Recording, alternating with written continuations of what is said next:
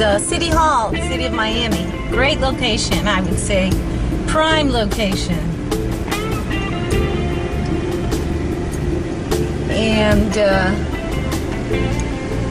there's that man. I don't know if you see him, but man with the uh, Canadian chair. He happens to live right there. That's his place. So that's how they do it here in Miami. That's their story. He's all hooked up to the boatyard. Here we are fishing right off of the, uh, I don't know, what is this called? A pier? I have no idea. But here we are fishing. So what are you gonna do with that? Are you gonna eat that?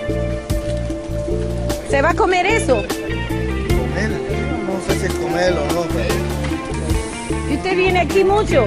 no. No? Poquito. Y vive en Miami? So you live in Miami. All right. So this is your spot to come and fish. Viene a pescar aquí. Cool.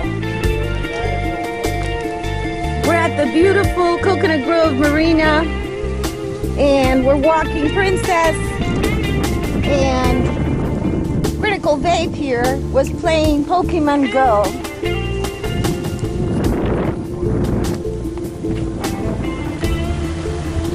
I was hoping to find some interesting people to interview here at the Coconut Grove Marina. However, they're all a bit too private and they don't want to be interviewed.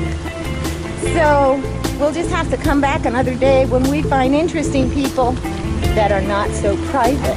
So I hope that you enjoyed my vlog for today. Thank you.